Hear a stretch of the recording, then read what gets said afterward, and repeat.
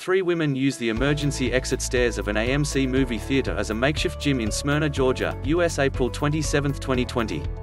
Reuters, Elijah Nouvelage shares of AMC Entertainment, AMC. N surged another 38% in early deals on Wednesday and were set to open at a record high as individual traders on social media forums were unfazed by a hedge fund flipping its stake in AMC, calling it overvalued.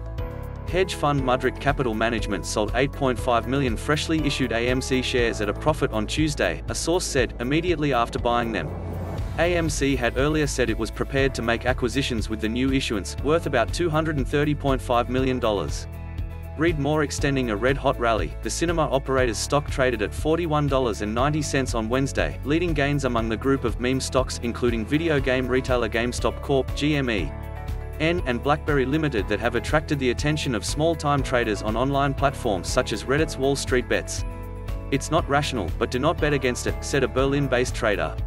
AMC's stock has surged more than 1,400% this year and, at nearly $42, is trading at more than 10 times the median analyst price target. The number of messages related to AMC on trading-focused social media site StockTwits rose more than 7% on Wednesday, with most of them reflecting a positive sentiment.